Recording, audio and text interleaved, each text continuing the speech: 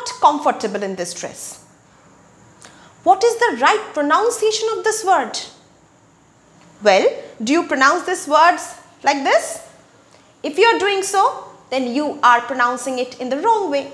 Let's learn today some of the correct pronunciation of some commonly mispronounced words. Word number one.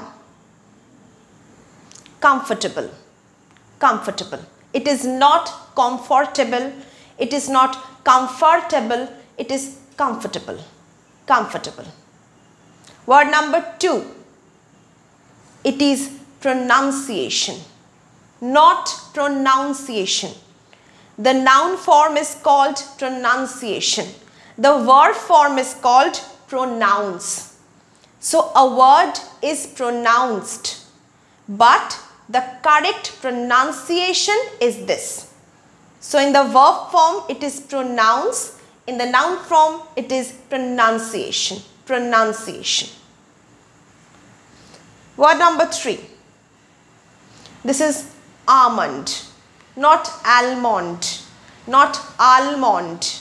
It is almond, almond. Word number 4. This is not often, often, often, often.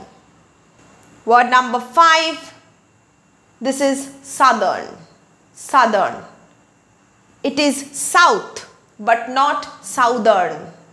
It is southern, southern. Hope you will like today's video and for more such videos, please subscribe to the channel and share the knowledge, share the video.